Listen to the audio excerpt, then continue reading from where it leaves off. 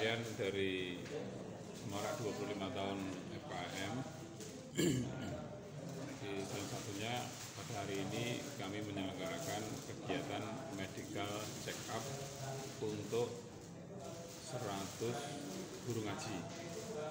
Tapi ternyata eh, minimumnya begitu besar sehingga pesertanya menjadi 114 guru ngaji yang eh, melakukan medical check up Nah, kenapa kami menyelenggarakan ini karena eh, guru ngaji ini harus diperhatikan kesehatannya. Mereka sudah dengan ikhlas menjadi eh, guru ngaji eh,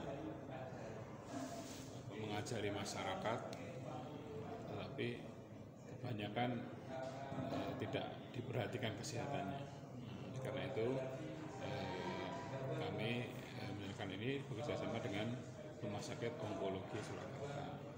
Sehingga nanti kalau ada eh, penyakit yang diderita oleh para guru ngaji itu bisa eh, se- sesegera mungkin kita antisipasi eh, kita adakan eh, pengobatan agar tidak menjadi lebih parah. Solo Raya ini. Eh, seluruhnya Sekilas tentang FKM sendiri biar masyarakat tahu Pak Dijelaskan. DFKM ini berdiri pada 15 Juni 2000 1998 dulu. Eh, kemudian kami bergerak di bidang dakwah dan kemanusiaan dakwah maka di eh, kegiatan kami eh, banyak di daerah-daerah bencana eh, seperti di tsunami Aceh kemudian di beberapa bencana-bencana besar di Indonesia hampir semuanya eh, kami eh, dengan tanggap untuk ikut serta dalam penanganan bencana. Dan sudah ada di beberapa daerah yang eh, di ada di lima provinsi kami. Eh, semuanya eh, masing-masing daerah eh, masing-masing cabang ini kami punya tim SAR untuk penanganan eh, bencana itu. Kemudian eh, juga dakwah. Eh, kami eh, apa eh, basicnya memang basic masjid. eh, basicnya adalah dakwah dan kami juga punya eh, pesantren untuk eh, mendidik eh, para mahasantri untuk menjadi eh, dai dan imam masjid yang kami sebar ke Itu mereka ustadz dan ustadzah ya. Iya, Ustaz dan Ustaz. Terus mereka yang di check up apa saja? Nah, nanti biar biar onkologi rumah sakit yang Kalau kalau Pak Kalono Pak Kalono sendiri di FKAM ini sebagai apa? saya pendiri eh, sekarang sebagai eh, Dewan Suruh, Dewan Suro dari FKAM ya. kayak ketua Dewan Suruhnya Pak. FKAM sendiri itu eh, bukan hanya di Solo saja ya, ada Nusantara ada ya. Ada di beberapa provinsi. Ada di beberapa Pak. Nggih. Nggih. Terima kasih eh, Pak Kalono demikian wawancara Liberty dengan eh, Dr. MS Kalono SHMSI. Ini Pak Tekno bisa dijelaskan terkait uh, kerjasama dengan PKN. kerjasama dengan KN ini apa aja yang diujikan ke para ustadz dan ustazah Oke, ya baik terima kasih. Assalamualaikum warahmatullahi wabarakatuh.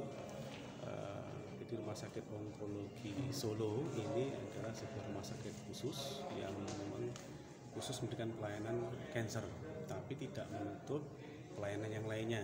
Ada bedah onkologi, ada opsin, ada anak, ada kesehatan jiwa. Jadi tidak hanya tentang cancer saja, tapi anak juga bisa, pasien ibu-ibu juga bisa. Kita ada spesialis penyakit dalam juga, artinya tipes pun juga bisa. Jadi bukan hanya eh, untuk onkologi saja, untuk cancer. Dan untuk acara hari ini memang kita kerjasama dengan FKM, eh, yaitu eh, pemeriksaan gratis, kesehatan gratis untuk 100 ustadz se-Solo Raya. Nah, yang diperiksakan atau yang dikan adalah eh, gula darah, asam urat sama kolesterol. Sehingga nanti akan kelihatan apakah kolesterolnya tinggi, asam urat tinggi atau yang lainnya tinggi nanti ada konsultasi dengan dokter umum. Nah, di onkologi sendiri itu juga ada layanan unggulannya Pak. Jadi kita ada 24 jam kemoterapi. Jadi sewayah-wayah mau kapan pun ke onkologi siap dilayani kemoterapinya. terus ada deteksi deteksi dini cancer. Nah, jadi ketahuan dulu nih, oh dari kanker pendek itu kita bisa di situ juga. Terus ada eh, vaksin untuk mengantisipasi agar kanker itu tidak eh, tumbuh. Walaupun kita sakit khusus onkologi, tapi di pelayan lain kita juga buka. Jadi jangan takut kalau ke onkologi, wah mesti cancer aja enggak. Tapi ada pelayan yang lainnya juga, kayak kebidanan, anak, kejiwaan, semua juga bisa. bisa. Termasuk kalau masyarakat ingin melakukan cek medical check up di Bisa, onkologi check up bisa. bisa, ya? di sana bisa, bisa sangat sekali bisa. medical check up. Alamatnya di Di Jalan Siwalan nomor 37, Kerten Lawean. Sejauh ini yang paling banyak ditangani untuk kanker jenis apa?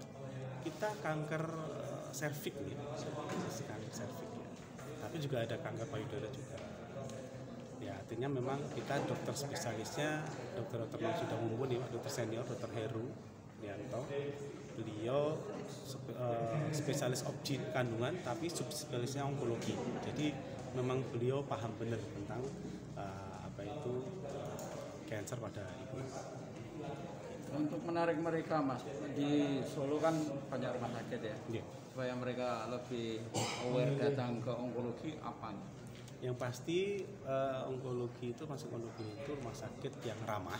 Ya, siapa pun yang datang ke kita pasti akan disambut dengan eh, ramah tamah. Ya, kita punya mutunya hebat, hospital, user, eh, better, terus kemudian eh,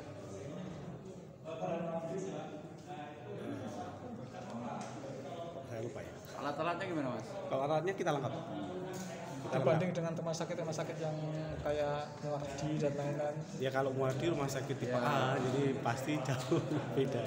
Cuman kita alhamdulillah lengkap alatnya. Artinya mungkin karena onkologi spesialisasinya di kanker, Hmm. barangkali Ada punya alat khusus. uh, alat khusus yang lebih bagus daripada rumah sakit lain.